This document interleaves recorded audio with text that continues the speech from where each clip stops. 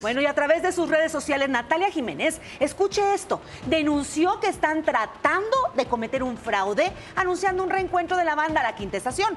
Escuchémosla. Uh, uh. Quiero aclarar por este medio que es mentira que se esté planeando una reunión de mi antiguo grupo musical.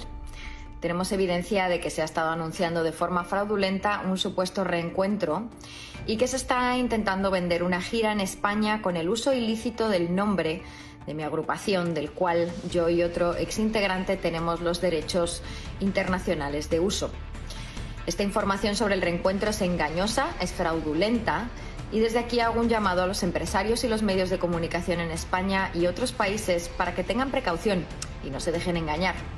Estas personas tienen acuerdos y sentencias que no les permiten usar bajo ningún concepto nuestra marca. Ya ha sucedido con anterioridad que se intenta hacer uso de la misma por una de estas personas, habiendo sido el resultado favorable para nosotros del uso de la misma con la justicia española. Ninguna de estas dos personas, ni el manager de esta supuesta agrupación, tienen los derechos sobre el nombre, lo cual es un fraude a los ojos de la ley. Cualquier uso no autorizado de este nombre es ilegal y si es necesario eh, tomaremos de nuevo las medidas pertinentes a través de las leyes que nos amparan como propietarios del mismo. Yo sí estoy planeando llevar a mi gira Antología 20 años eh, a España este año, eh, pero eso no contempla de ninguna manera un reencuentro con mi anterior agrupación. Les mando muchos abrazos a todos y espero que les haya quedado muy claro. Quedó claro. No, Pone claro, la sí. rayita muy clara. de- Pero entonces de sí va a ser, pero a ver si ella va a ser antología, entonces sí puede cantar las de la quinta estación o no.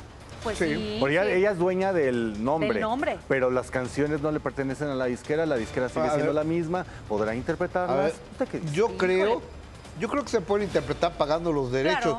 El único jalado que no dejaba que interpretaran era Iván Aguilera o. Pose. Iván. O sea, porque, Pero ya. espérame. Las canciones de Juan desde Gabriel. Que, de Juan Gabriel. Desde que Pose dejó a, a Iván Aguilera, no ha habido haber una bronca de eso. O sea, yo, a mí se me hace que era onda de Pose el que inventaba esas jaladas. Tu querida. Por- Pues que ni Oiga. se podía hablar de él. Casi. Él no se podía hablar, decía Juan Graviel para que no haya Ah. problema.